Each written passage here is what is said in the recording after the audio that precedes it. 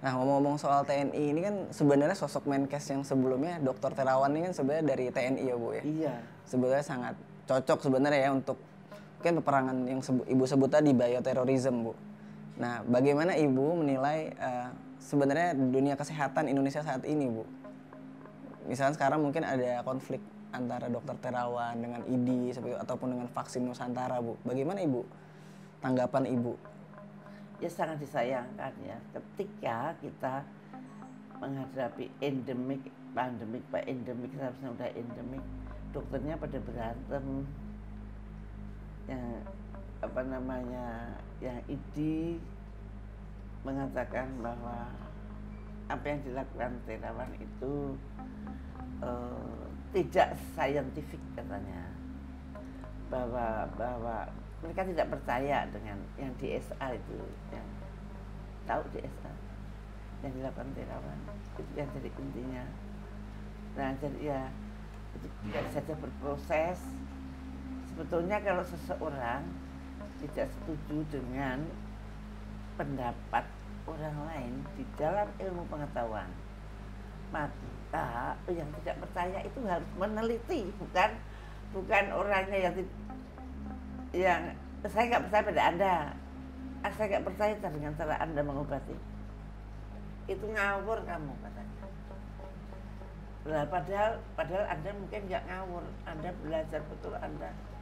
Inovasi lah inovasi itu kadang-kadang tidak bisa dilihat dari literatur yang sudah ada. Nah ini kalau ada konflik seperti ini bagaimana? Yang tidak percaya yang harus meneliti. Ya ngapain? Yang yang lo, percaya boleh nggak boleh kok gitu. Iya harus sejauh ini mungkin dokter Terawan sudah ada penelitian dan dari Udah, yang kita udah, ketahui udah. dari Unhas cuman memang eh, polemik yang berkembang ini sangat eh, berkembang ya Bu di masyarakat Ya, ini. Salah mengartikan science. What is science? Ilmu pengetahuan itu untuk kemaslahatan umat, bukan untuk ilmu sendiri. Wah, bahwa kalau ini harus diteliti pakai pakai apa namanya oh, evidence base. Kalau caranya kayak gitu, tusuk jarum nggak bisa sampai sekarang. Tusuk jarum itu dulu juga tidak ada evidence base, tapi empirical base.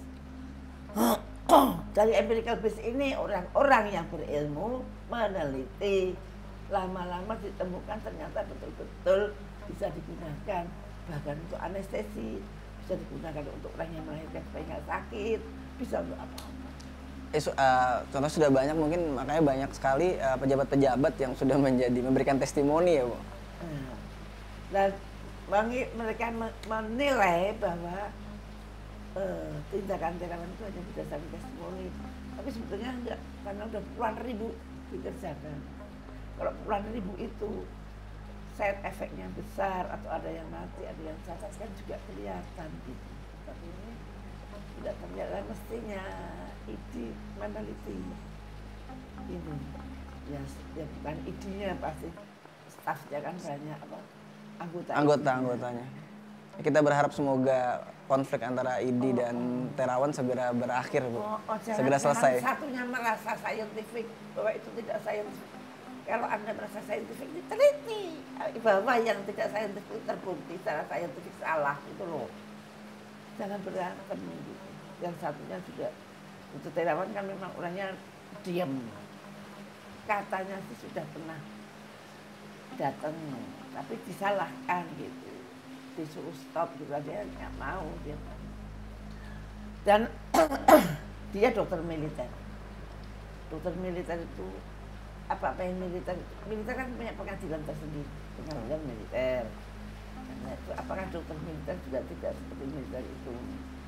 Apakah boleh dipanggil begitu saja tanpa eh, ke kasat atau gimana? Aku nggak tahu.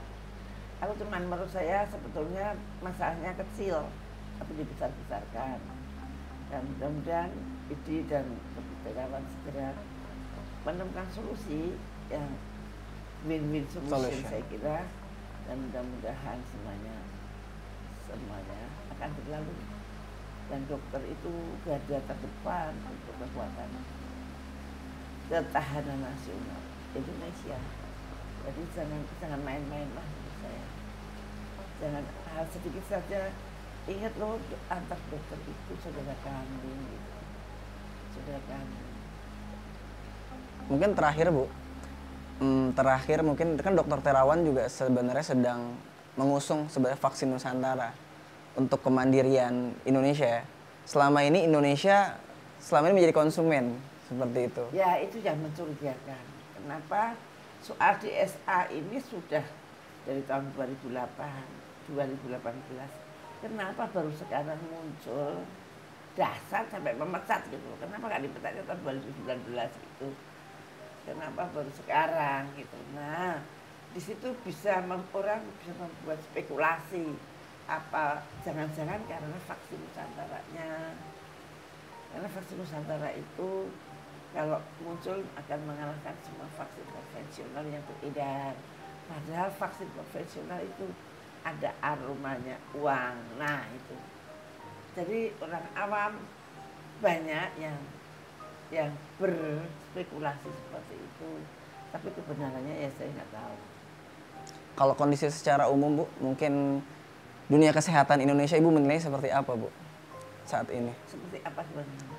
Dalam arti mungkin eh, kemandiriannya atau ya, yang yang lain. dari dulu sih nggak pernah mandiri, apa-apa masih impor.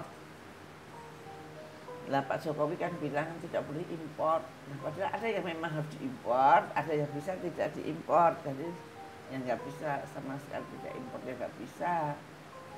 Tapi ya bisa aja sih kalau pakai apa yang ada di Indonesia gitu ya.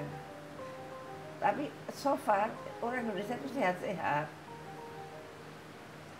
Orang mungkin hawanya, mungkin DNA kita yang kuat dan mau sakit TB juga banyak banyak. Ya, cukup aneh mengingat sebenarnya Indonesia kan dikenal karena mungkin penduduknya banyak ya Bu. TB terbesar, mungkin diabetes juga terbesar ya kan. Tetapi saat Covid malah lebih banyak Covid ya Bu. Sehingga mungkin penyakit-penyakit lain dilupakan seperti itu. Oke baik Bu, Eh, mungkin eh, terakhir Bu mungkin ada pesan-pesan Ibu untuk masyarakat seperti itu. Terlebih gini Ibu kan adalah mungkin kita anggap sebagai orang tua kami lah ya. Mungkin untuk untuk anak-anak Gen Z lah Bu seperti itu untuk untuk milenial seperti itu. ya untuk masyarakat banyak sekarang sedang lagi lalu takut dengan pandemi sekarang bangkitlah untuk memperbaiki ekonomi yang kemarin-kemarin terpuruk karena pandemi insya Allah kita sudah transisi dalam menghadapi endemik dan endemik insya Allah tidak akan menakutkan seperti pandemi mudah-mudahan ke depan kita semua bangkit. Saya kira itu pesan saya. Ini pesan saya terima kasih. Baik terima kasih Bu Siti Fadila Supari atas waktunya. Semoga tetap sehat selalu Bu, sukses selalu dengan karya-karyanya, tetap berkarya dan berkontribusi untuk masyarakat Indonesia.